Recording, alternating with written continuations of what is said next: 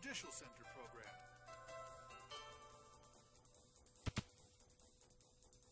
Bankruptcy Law Update.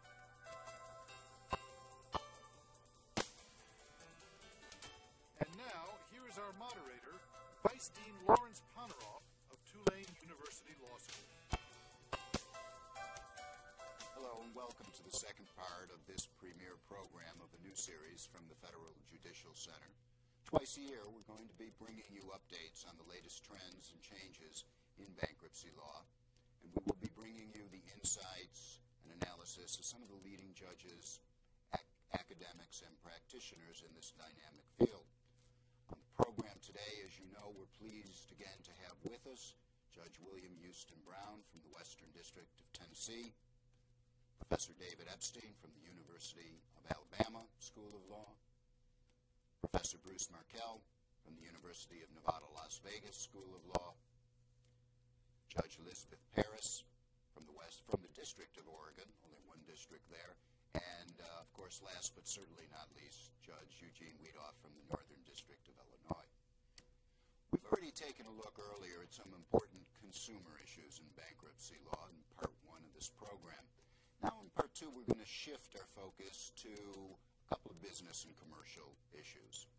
Um, and we're going to start by asking Professor Markell about one of the more controversial Supreme Court cases in the bankruptcy area in a long time. You know, Bruce, the Supreme Court teased us for a long time about when it was going to get, if ever, to the new value exception. And of course, in 203 North LaSalle, the court finally did address the issue of whether a new value exception has uh, survived codification of uh, absolute priority. And uh, of course, you filed an amicus brief in that case. And now that we have a decision, I find it ironic that I have to start out by asking you is there a new value exception or not? Bruce, are you going to let him get away with calling it the new value exception instead of the new value corollary? I thought that was the major argument of your brief. Well, David uh, and Larry, uh, start with first things first. Um, I think the debate will continue because the Supreme Court didn't answer the question either question, whether or not there's an exception or corollary or what you call it. Uh, at least if you take them on the words. The opinion by Justice Souter that came out in May uh, talks at length about what happens in this particular case, but explicitly leaves open uh, the issue as to whether or not the 1978 codification uh, left open a role for equity owners, which is really what new value is about. Uh, I'll probably refer to it as new value principles because, as David well knows, I take the position mathematically that it's a corollary exception. But what is it? What we're really talking about is the ability of a debtor's equity owners to continue their participation in the revested debtor after confirmation and under particular circumstances. I don't think anyone uh, has any objection if, in fact, the entity is solvent. But if, in fact, not all debts are paid and not all creditors agree uh, to the plan proposed, uh, then we have questions under what This has been a historic question in bankruptcy law. It goes all the way back to equity receiverships when it was very common uh, for syndicates out of New York to be put together of existing shareholders. Uh, it continued into the 30s when we had the first codification of the bankruptcy laws in Old Chapter 77, 77B, and Chapter X. The court uh, was given a statute, and we have a lot of cases from the late 30s and early 40s, that basically said, well, plans have to be fair and equitable. Just those words. Uh, because of that, at least in 1939, when Justice Douglas decided Case versus Los Angeles Lumber, he left open the possibility that a lot of the old jurisprudence from before the Depression survived. That is, that equity holders could continue to participate uh, when they when creditors weren't paid in full, uh, and when there was a dissent about the continuation. Now the problem is that because of the way Chapter X, which replaced uh, 77B in 1938, was drafted, there wasn't a lot of incentive for the equity holders to stick around most all cases under Chapter X, uh, a trustee was immediately appointed. Uh, moreover, in Chapter XI, which was the, the, the, if you will, the practitioner's preferred vehicle, there was no fair and equitable rule, just like in Chapter 13 today. So this really wasn't that much of an issue until we fused the old Chapter XI concept of a debtor in possession and the fair and equitable rule of old Chapter X in the 1978 Code. Now, this issue first came up when the new value exception kind of made its way to the court the first time in 19 there in Ahlers, uh, the Solicitor General suggested that because the Bankruptcy Code in 1978 did not anywhere talk about new value exception, new value corollary, new value, that just wasn't there. That you just take the statute as it as it as it is, and that's it. Now the problem with that is that there is a very complicated history to the provision that was at issue, or that's at issue in 203 North LaSalle. In fact, the court treated it as a statutory interpretation case. 1129 B2 B2 uh, says that no equity holder or actually even in, uh, creditor can receive or retain on account of their equity interest any property so long as there's a dissenting senior class. Now, uh, those who proposed new value said there's a simpler way to write that if you just want to write out uh, junior interest, and that's just, they can't receive or retain any property, period. But because we have the words on account of, the question is, is there some kind of causal connection between the interest retained post-confirmation and the interest that they held pre-confirmation? Um, and the Supreme Court looked at that in the context of the facts of 203 North LaSalle, which is another single asset debtor case, sometimes I call SADS, um, which Good with good reason, uh, because I think that uh, that SADS are, are single-handedly responsible for screwing up a lot of law in Chapter 11. I think 203 North LaSalle may prove to be no exception to that rule. Um, there you had a, a, a, single asset debtor, a partnership, which Judge Wedoff was the trial court judge, that had 15 floors of a Chicago office building just inside the loop. Uh, they also had a lender who lent over $90 million, Bank of America, with respect to their acquisition and improvement of that building. Um, and then we have a, a, Chicago real estate slump. So big a slump that the property, uh, as valued in the bankruptcy proceeding, was only worth about 56 million. The plan was pretty simple: pay every unsecured creditor in full, except uh, the deficiency claim. And because of Seventh Circuit claims, they had to separately classify that, and they paid a little bit differently. I'll talk about that in a second. They were then going to take the cram down rules of 1129 uh, B2A and say, you know, we'll treat this as a new loan at, at the existing market rate, at the existing value. That left the deficiency claim, a significant claim, the difference between about 93 million and 56 million. What do you do with that? Well, note that because they're in Chapter 11, we're even talking about a claim. If we're outside in a state court foreclosure, if we're in a Chapter 7, this claim has zero value because only in Chapter 11, under 1111, does this claim have any value. So what the partnership said is it's not um, a full claim, uh, but what we'll do is we'll pay it out of some proceeds of sale or refinancing down the road. Uh, and the estimate was that that was going to be worth about 16% uh, of whatever the deficiency claim turned out to be. Bank of America said, however, you know, as we look at absolute priority, which we all know is part of the fair and equitable requirement, um, I got to be paid in full. My claim was 90 plus million dollars. I'm not getting 90 plus million dollars. Uh, what I'm getting is a new loan spread out over time and a hope uh, that you're going to get something in the future. And by the way, same equity holders, or more or less the same equity holders as before. To their point of view, absolute value was not uh, met. To the partnership's point of view, they said, listen, all this history uh, is on our side. And what we're going to do is we're going to contribute over time up to $6 million. Moreover, the reason we're going to do that, as acknowledged by the Supreme Court, is they had tax recapture. If, in fact, they lost the property either at state court foreclosure or through some type of bankruptcy proceeding, their partners were going to take a significant tax hit. So within the plan itself, they set up an exclusive provision that only equity holders, current equity holders, could could buy into uh, or. And so this goes up to the Seventh Circuit, which uh, uh, basically uh, two to one affirms, and to the Supreme Court. This time, uh, unlike Ahlers, uh, unlike the Bonner Mall case of the mid 90s, they actually tried to wrestle with the issue. And the question is whether they wrestled with the issue in a way that those in, us in academia can say is responsible judicial management or not. And to my way of thinking, we've kind of caused about 15 more years of litigation to figure out what this case really means. And here's why I think it. it go through the court's logic. The court sets out the fact that bankruptcy and special reorganization serves two goals. One goal is the reorganization rehabilitation of the debtor. The second goal is the maximum return to creditors. So, well, it's pretty easy in this case. We just have to meet both goals with respect to the new value plan. So what we have to do is we have to assure that if the equity holders continue, which is one of the goals of, of reorganization, we're not going to say that they can't, can, can't continue. Indeed, the court called both the Solicitor General and the, and the bank's position on that starchy. I mean, they actually kind of dismissed it out of hand. So if in fact they're going to continue, they have to continue on a basis upon which we can be assured that top dollar is being returned to the creditors. And in fact, they use that term, top dollar, uh, several times. Well, the question is, how do you determine that? Or what was the problem here? Um, debtors, well, what do you mean by that? You know, the, the statute which you say that we're interpreting, that you're interpreting, 1129B2B, says we have to retain property. Well, what property did we use here? Uh, it's not necessary because this is new equity issue, new equity that we're issuing. It's brand new. Uh, it's not the same equity holders. Indeed, there was a substantial turnover. Not all the partners decided to pony up.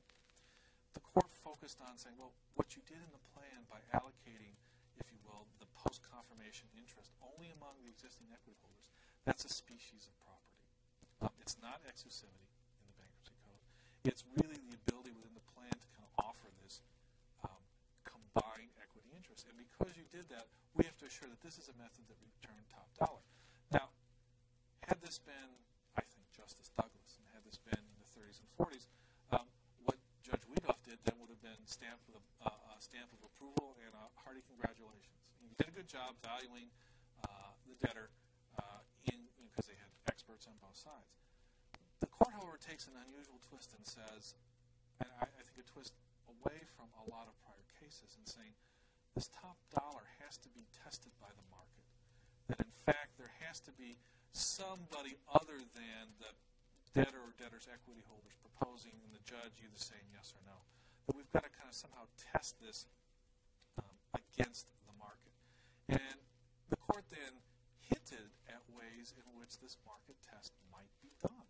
It said, well, one thing that we might do is, well, don't just have the, the auction, if you will, among the debtors' partners. Open it up. Let anybody come in and bid. Of course, that's completely contrary to why the debtors' equity holders wanted to bid anyway, because if you let other people in or other people bid, they're not willing to put up the six million. But the court said, we're not going to be concerned with their particular motivations for doing this.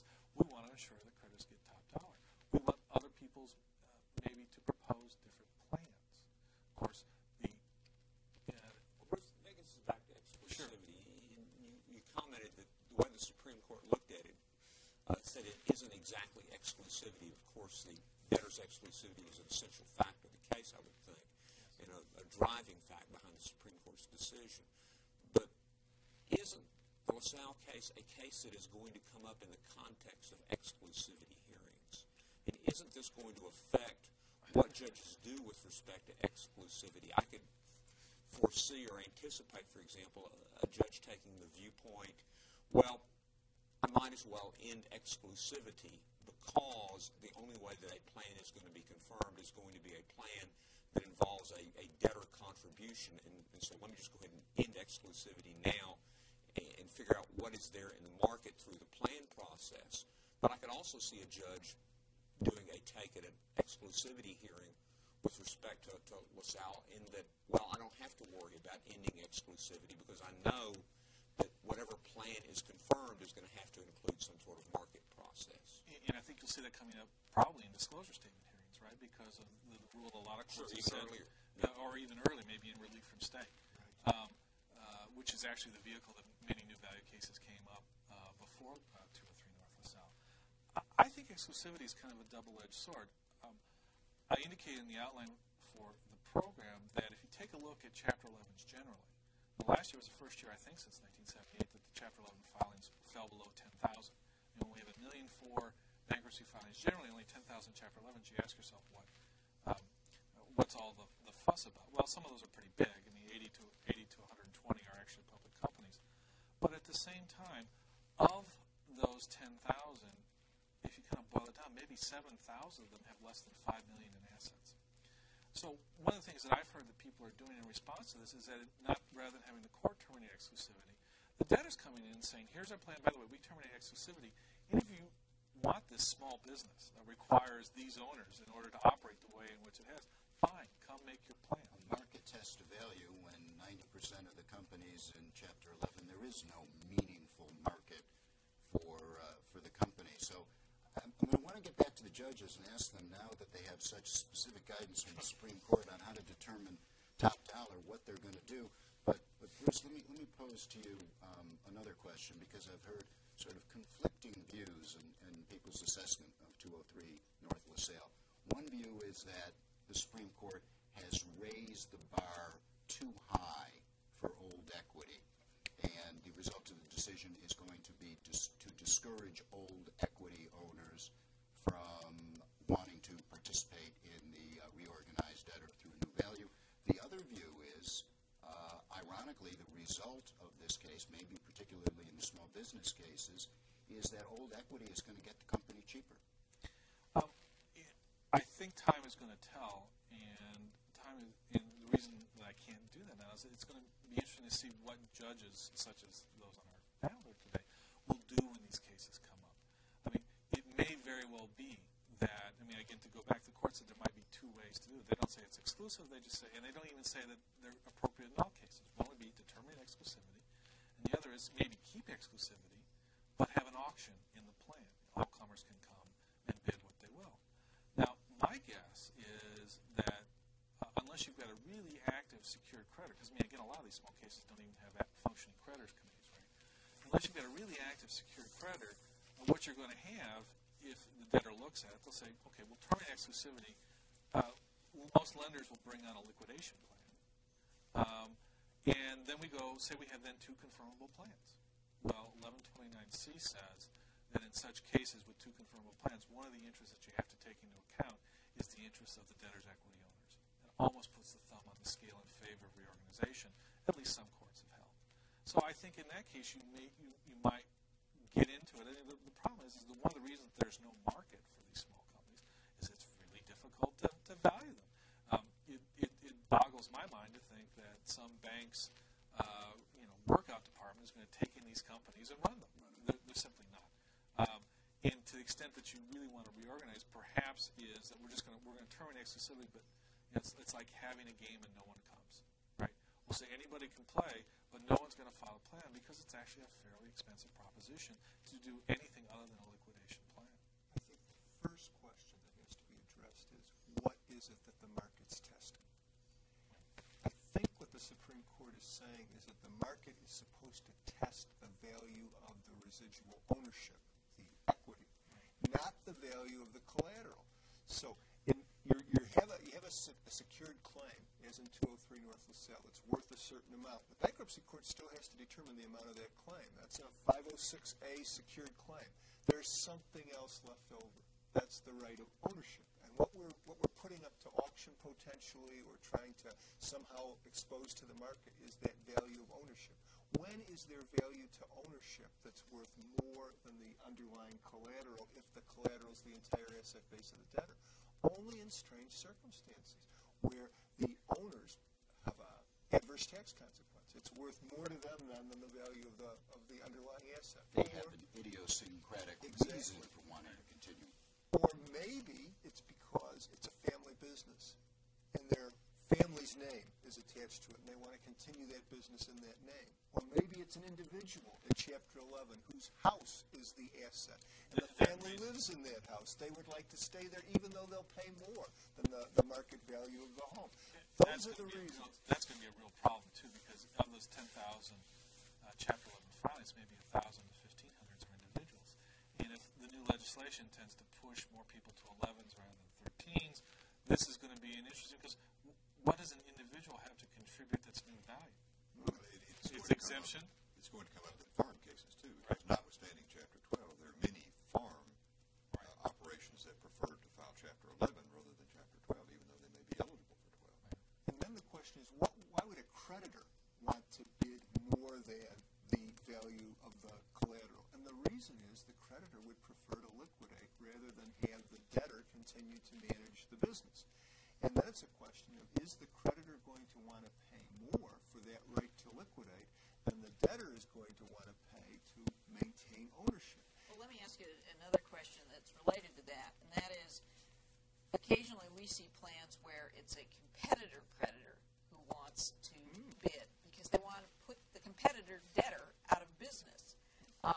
these arise in uh, where there have been judgments and patent disputes uh, or intellectual property issues. Uh, and you have what is basically a viable business, but for this patent problem. And those, I think, pose quite clearly the, the, the problem of if you want to save a business at least long enough to let the appeal go forward, uh, if it's a bidding contest, the debtor's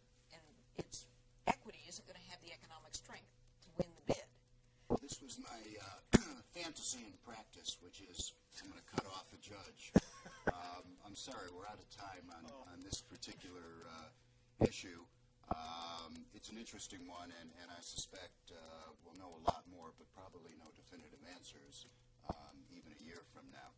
Um, we want to turn uh, next to, um, to David to talk to us a little bit about my least favorite section uh, of the Bankruptcy Code, Section 365. I didn't understand it when they first enacted it in 1978, and they've done nothing to make it uh, more uh, intelligible. Um, let me start, David, by asking you um, the um, limitation on the ability of the debtor to assign in Section 365C1 where the uh, third party uh, has uh, the personal performance of the debtor as material to that to the performance and allows uh, uh, the enforcement of that restriction.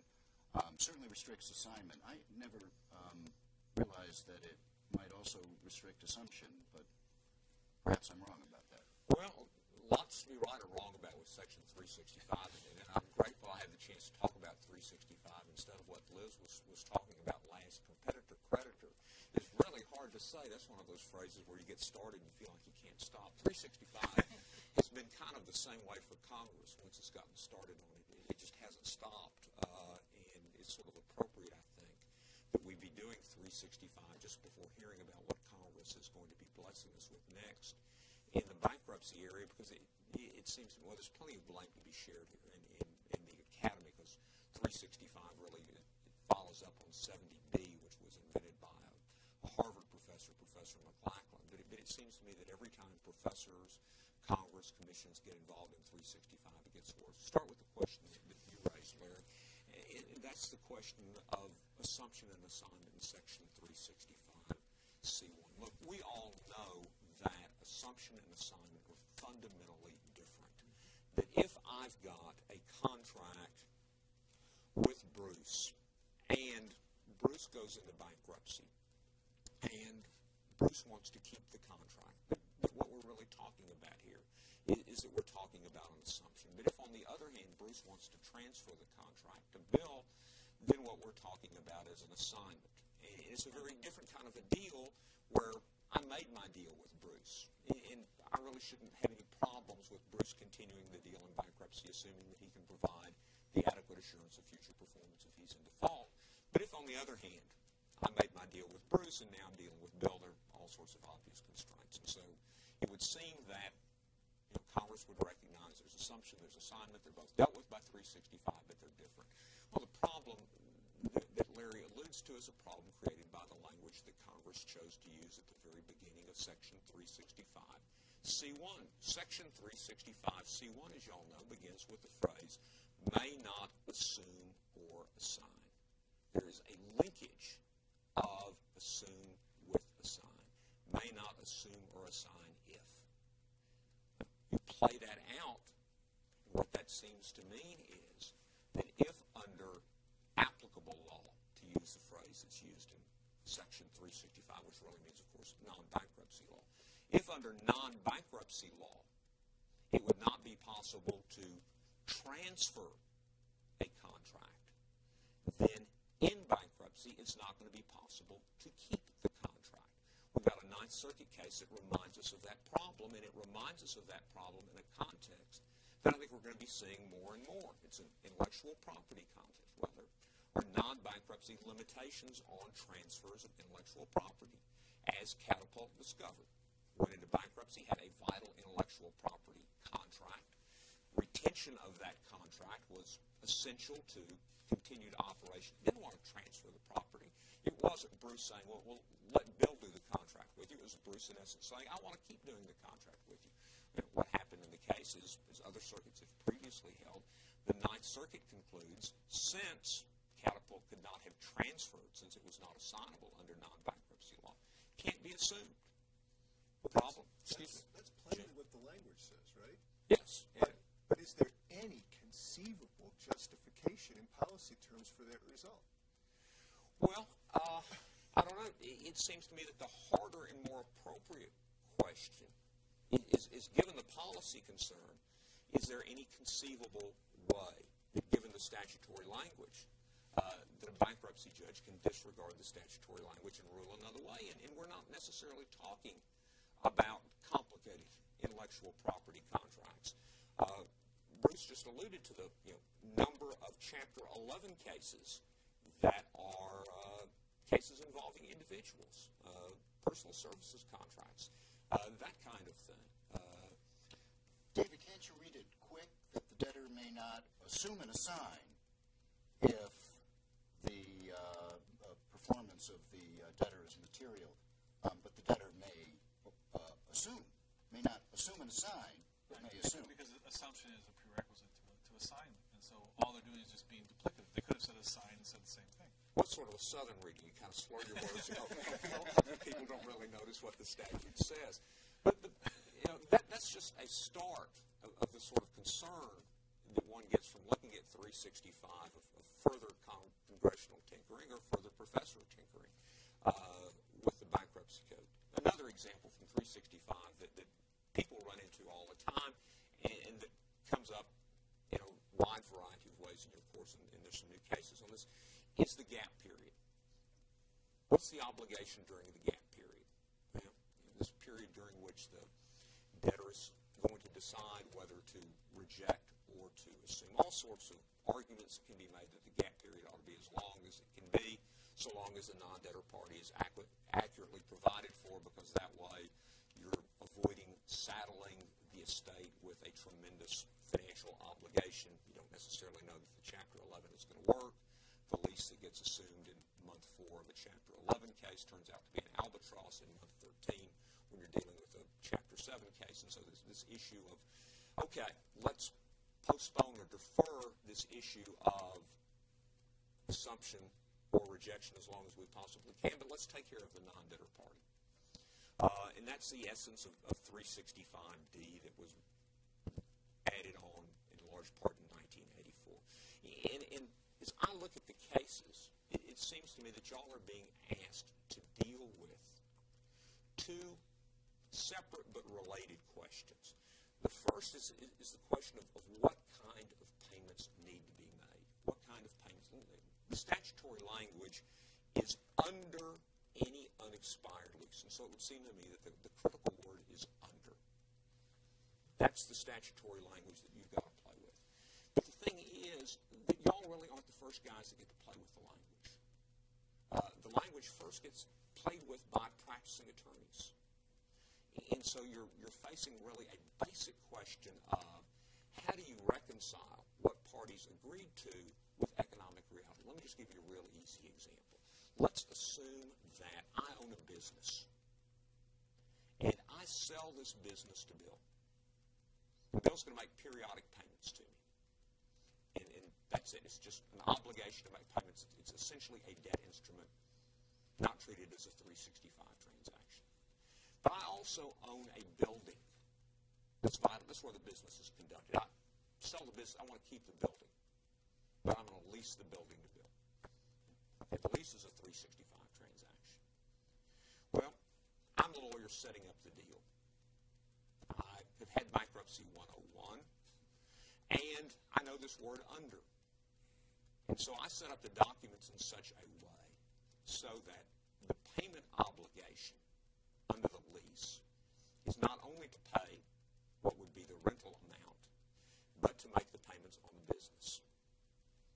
Is that under any expired lease? If so, if Bill wants to,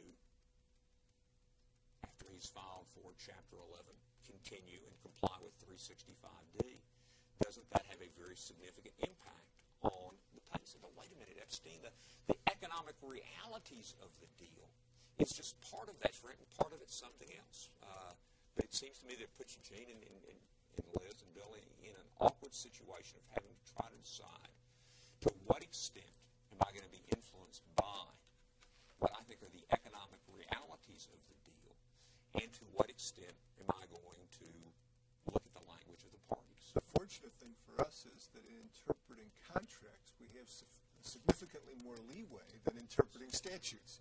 Uh, and courts routinely look behind the actual language of an agreement to reach what they think the reality is, and I expect that could be done in this situation. You're not saying that, that there's talismanic qualities to the word lease, that anytime I put lease on any obligation, I've somehow taken it into 365, are you? Well, no, but, but when you talk about looking behind, it almost gets to the point where, where y'all are going to need not only Lexis and, and Westlaw, but a 900 number to get to the psychic network. because I would think that, you know, practicing lawyers can be just as creative in drafting as you guys can be looking behind. Let me, let me just give you another example. Let's assume that uh, I'm leasing a building he wants substantial improvements done. And I've got a rental rate, and I want to cover the cost of the substantial improvements. Now, if I do this separately in any way, uh, then it seems to me that a court could very easily say, okay, what we really have here is an obligation, an obligation that arose before, and as a result, that's not a 365D. But what if all that you're presented with is nothing at all about improvements? You're simply presented with a lease that says this is the monthly rental rate. Are you going to now look behind the document and you look behind it look on the other side of it? There's nothing written on the other side of it. Looking behind in that situation means, it seems to me, that you're not interpreting the contract, but totally disregarding the contract.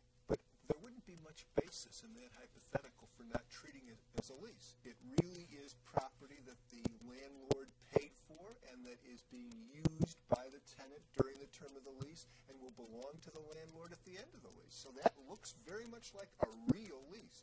Now, if we added something to your hypothetical and said that at the end of the lease term, the tenant would own those improvements, then there would be something on the face of the lease that would give a basis for looking at the economic reality. The, the, other, the other downside to a lot of what you're saying, David, is that as crafty and as adroit as lawyers are going to be when drafting this, they know that if they tie it all into a lease, there's a possibility that if, if the payout is any long term, a person can find another place.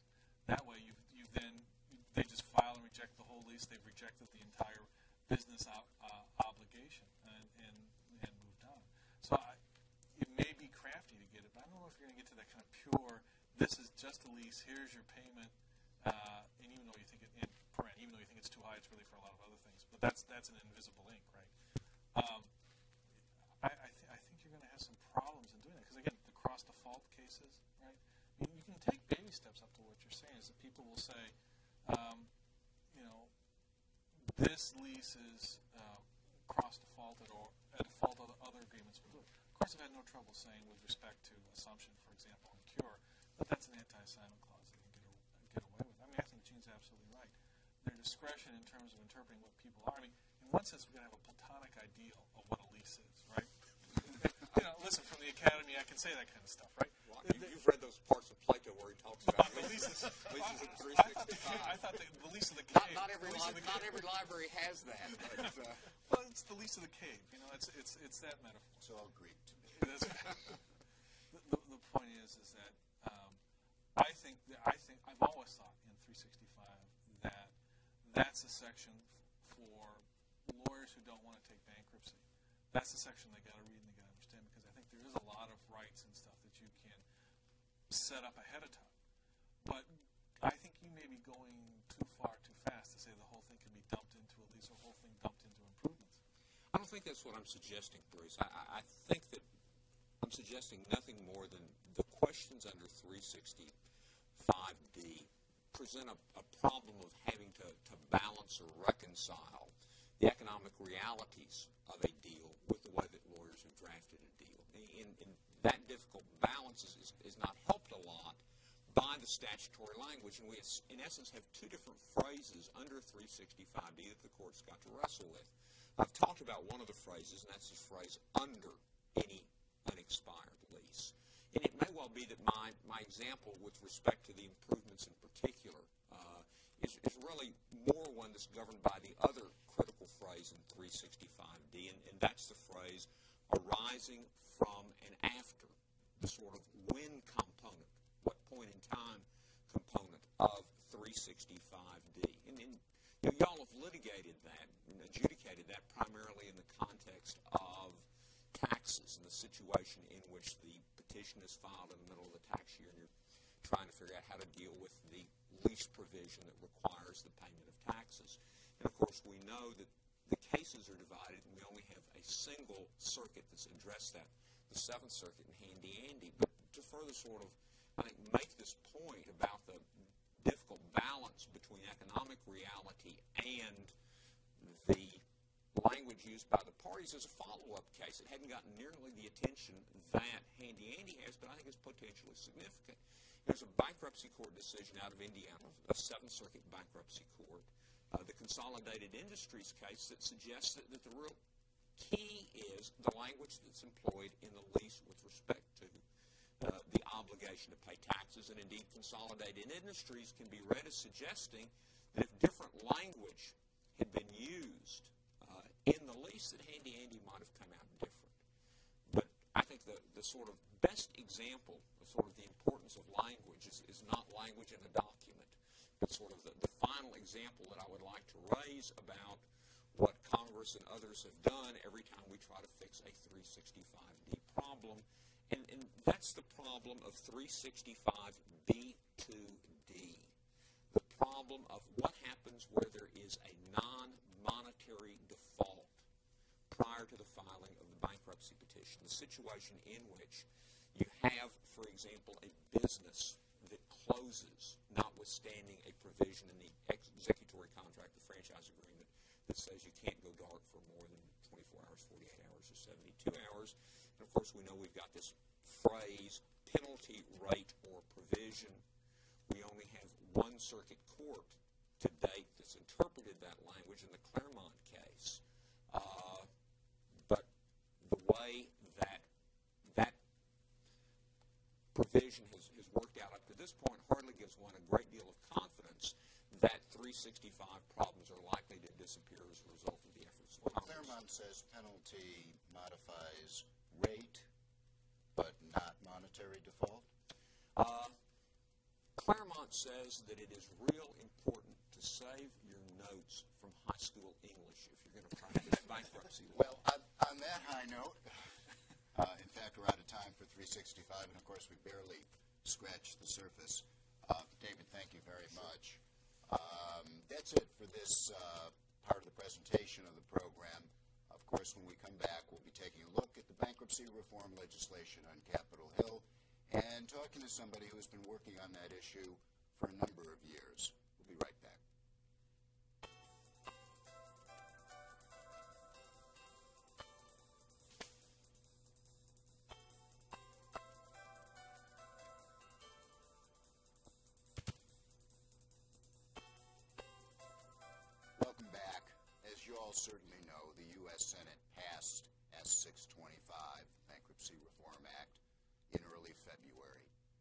House, of course, had already passed similar but not identical legislation, H.R. 833, last fall. As we tape this program on February 11th, the two houses of Congress are planning to set up a conference committee to try to come up with a single compromise bill that they can both agree to and that the president can sign. With us to talk about the legislation is Joseph Rubin, Legislative Director for Congressman George Gekas, Republican of Pennsylvania. Mr. Gekas, of course, was the chief sponsor of the bankruptcy bill in the House. Mr. Rubin has been working on this legislation for a number of years and fortunately has a good sense of humor as well. Mr. Rubin, thanks for coming. We appreciate it. I know the panel has lots of questions for you. I'll ask you just very quickly to outline for us what you see as the process and timing uh, for the conference committee. Well, first, thanks very much for having me. I appreciate it, and I appreciate all your uh, comments and help over the last couple of years putting the legislation together and uh, all your expertise in, in helping us work through some of these difficult issues. Uh, the timing is um, uh, a little bit up in the air at this point uh, because the Senate passed a a tax provision uh, included in their bill, which is constitutionally not permissible. So uh, we're trying to work out whether or not how that's going to work with the minimum wage and the House provisions. Uh, but we think that uh, timing conference should be underway at the latest by early March, and we think the bills are close enough together, at least uh, on the bankruptcy provisions, that we'll have a bill ready to go uh, probably by the end of March. So we're looking forward to it, and we think it's something that we can accomplish this year. Do you think uh, one of the areas where the bills differ, and of particular interest to me and, of course, Judge Brown, is the uh, homestead exemption? Uh, not only are the amounts different, but the House bill has an opt-out from the homestead cap. The Senate bill doesn't, causing the bill to lose some votes from senators in uh, limited homestead jurisdictions. Um, where do you see that one we've worked very hard in the House to ensure that there is an opt-out provision uh, in the bill, and uh, we're confident that that will be included in any final package. The question for us at this point is, where is the number going to be? But the opt-out is, is pretty important, and uh, we're confident that people on both sides of the aisle, and on both House and Senate, uh, will be willing to support that in the final package. When you, you say that uh, you think that will be worked out, uh, w- but the number is the flexible thing, do you, do you see any possibility of the homestead cap going away at all in conference, or you, you believe it will stay in? It will stay in. Um, there are senators on both sides, uh, senators and congressmen on both sides who strongly support a cap. Uh, and, for example, Senator Sessions was conferee last year, and we anticipate he'll be a conferee this year. Is a very strong supporter of maintaining a cap. Uh, the Senate passed a hundred thousand dollar cap and uh, rejected an opt-out provision on the on the Senate floor and vote. So we think that uh, we're that there will be a cap, but we think that the opt-out will also be retained. Several of, of the judges are interested, and they may be more interested than practitioners who don't focus on this issue in, in the appellate structure. Right now, we have uh, uh, appeals going to the district court, possibly going, if the circuit has adopted that, uh, going to the bankruptcy appellate panel, and then on to the circuit. The House bill has one provision about appeals, and the Senate uh, bill, I think, says nothing about appeals. What's your prediction of where that will fall out in the uh, conference process? In the House, Mr. Gekas has worked very hard to come up with a compromise um, direct appeals provision. Uh, it's not a straight direct appeal, but we've worked with a number of judges and academics to come up with a sort of hybrid provision uh, on the House bill. And we've worked very closely, for example, with the ABA. They strongly support our provision. Uh, and we're pretty confident that uh, the Senate will recede to us and allow us to move forward with our direct appeal provision. You know, there are some things that happen in the legislation that look to most bankruptcy practitioners simply to be mistakes, uh, technical mistakes that uh, inadvertently get involved. Uh, one example of that is changing the priority for support payments to the number one priority in, in bankruptcy distribution. The concern that people have is that that's ahead of the costs of administration. And so what happens is that in any case in Chapter 7 where there's not enough money both to pay the costs of administration and to pay all the outstanding support recipients, a trustee won't be able to administer the assets. A trustee will wind up abandoning the assets because the trustee won't be able to pay the professionals who need to liquidate the assets. So from most of uh, our perspective, it would be much wiser to allow costs of administration to be paid ahead of the support obligations to allow the support obligations to be paid at all. Is there any chance that the conference will be able to address that problem? Well, that was not a mistake. That was done intentionally. Um, one of the criticisms that we've received about the bill, unjustified in our view, was about the child support provisions, that the bill is harsh towards uh, child support creditors and, and goes overboard and things like that. But in fact, bill has had the support of all of the, almost all of the major child support collection agencies in the country. And we wanted to demonstrate that we are being very careful to ensure that child support is first. And we wanted to demonstrate that uh, in the bill by putting it as first priority. That being said, uh, Mr. Gekas has, has committed to trying to move it to second priority you know, it was a political decision to move it to first priority. Uh, but, you know, obviously, we think that it will have to move to second priority. Uh, but the Senate has it as first priority as well, so that that's something to be worked out in conference. Well, if it doesn't get worked out, we're curious what your vision is of how this would work. Would it be, as Gene suggests, that the trustee just abandons the property? Or would the expectation be that uh, U.S. trustees serve in those cases as tr- case trustees so the property could be administered? Well, again, I think that's something that, that does have to be worked out. Um, and we would like to see it move down to second priority, but uh, we don't know where the Senate is going to come down on that, and we don't know where the Democrats are going to come down on. it. If the Democrats insist that child support uh, and uh, maintain its first priority, that's something that we'll probably have to uh, have to look at closely. Joe, when we talk uh, here about some possible changes in, in the conference work, some of the viewers may be wondering what role, if any, do outsiders, that is, people outside of the conference committee or the Congress, can they play any role? I mean, is there still a reception to getting uh, suggestions? I'm, I'm not asking that you give your phone number or anything. Uh, what, why don't you touch upon that? What, what role, if any, do comments or suggestions still play in this process? Well, absolutely. We always welcome comments, and uh, I know I've spoken to you, and you've testified before, and a number of you have all, you know, submitted comments, and, and we've uh, done our best to accommodate a lot of them. Uh, and you know, conference is by no means a done deal. We're obviously listening to comments about all the provisions uh, involved. Um, and I think that uh, as we move forward, course continue to solicit advice. We're continuing to listen to talk to, uh, for example, uh, Judge Small down in North Carolina about some of the other provisions. Uh, I've talked to your trustees about some of the provisions that affect them directly, and we're always listening to additional comments. And uh, you know, this program has been very informative to give us additional things to think about. Um, the timing, I think, is the issue because we, Mr. Gekas would like to see this move through expeditiously. Uh, with 300, over 300 votes in the House and 80 some votes in the Senate, uh, both veto-proof majorities, we think that uh, we can move this very quickly, and we'd like to move it through as quickly as possible. So the timing is a concern. So I, I assume it's a little late, for example, for people to write you letters saying, I'm opposed to the bill.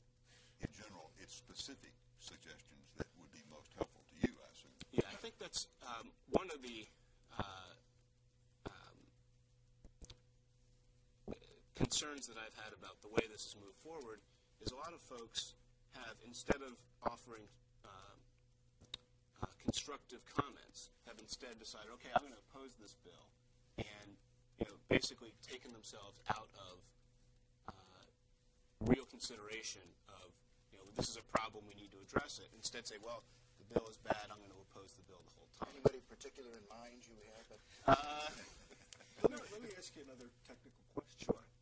On the question of auditing consumer bankruptcy schedules, the House bill provides that those audits should take place by licensed professionals according to generally accepted auditing standards. The Senate bill is much more flexible, allowing uh, for employees of the uh, United States trustee system uh, to conduct the audits and, and not requiring that they be done under the GAAS uh, provisions. Do you have any idea as to how that particular issue is going to come out, particularly in light of the fact that neither of, of the bills make any provision for paying for the audits? Well, the House, uh, Mr. Gekas feels very strongly that uh, we do need to incorporate general accounting principles uh, in these audits. But, you know, as you said, the, the Senate has different principles. Um, again, you know, I don't know where this is going to come out, but uh, we, we in the House do feel very strongly about it. And we would like to see the GAAS retained, but that is something that, that has yet to be determined. Is there any idea of uh, how these audits will be paid for? Uh, again, that's something that, that will be addressed, I would assume, in conference. You know, uh, most of the cases to which they'd be applied would be no asset Chapter 7 cases, so there uh, presumably wouldn't be any funds available in the case itself to pay for the audits. So is there a likelihood that there'll be a provision in the bill for the payment? Um, there, I'm assuming there will be. I mean, maybe it'll be the U.S. trustee.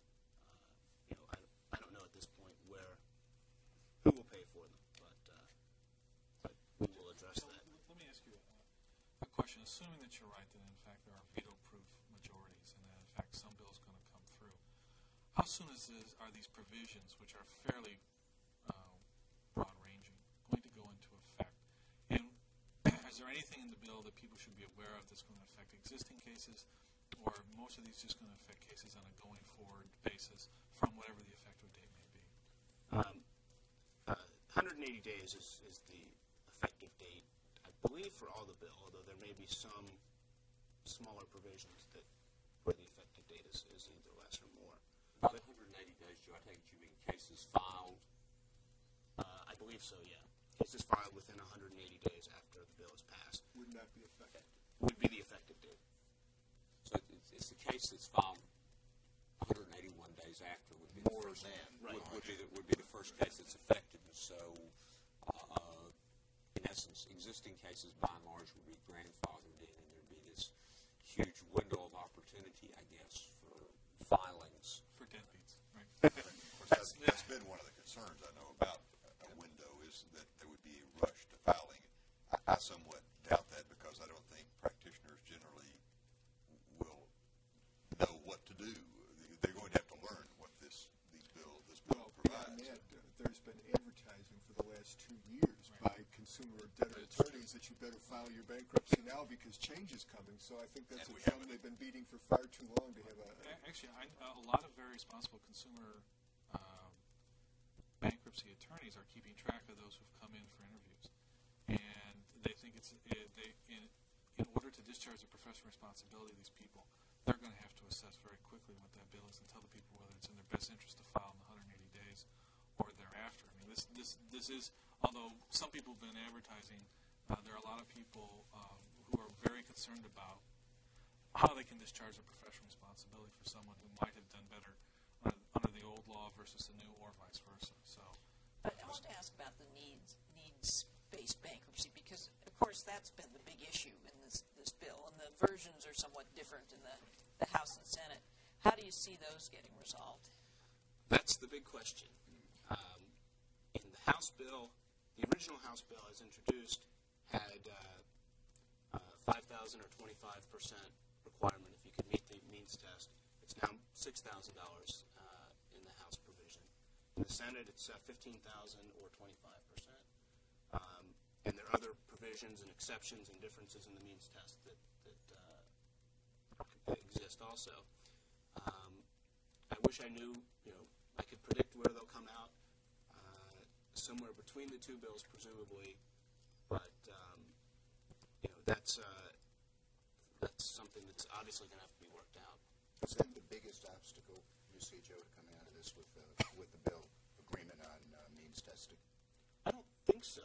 Um, if you look at the last bill that we passed in the 105th Congress, the Senate bill was the, the means test in the Senate bill and the House bill were extraordinarily different. This time they're very much closer. They started from the same premise of last year, last session's conference report. So you know we're, we're pretty close together on that. I think actually the biggest stumbling point are some of the extraneous issues like abortion and the uh, minimum wage and that sort of thing. What about uh, anti-cram down? From the point of view of Chapter 13 trustees, one of the most significant changes the bills would make would be eliminating the possibility of Chapter 13 debtors stripping down to the value of the collateral claims of car lenders and other secured creditors. The bills do have different provisions regarding that. Um, do you see that as being something that will be changed uh, significantly in conference? Well, it's funny. The House and Senate provisions have sort of flip flopped. Uh, when the House bill originally passed, it had, I think, 90 days, uh, no cram downs for 90 days. The Senate bill had no cram downs at all. Last conference, we came up with the five year compromise, and the House introduced the conference report from last year as this year's bill. That five years has been retained. The Senate, on the other hand, now has six months, except five years for auto, auto loans. I don't know where that's going to come out, but uh, it's presumably going to be somewhere in the middle. Again, since many of our viewers are, are going to be judges,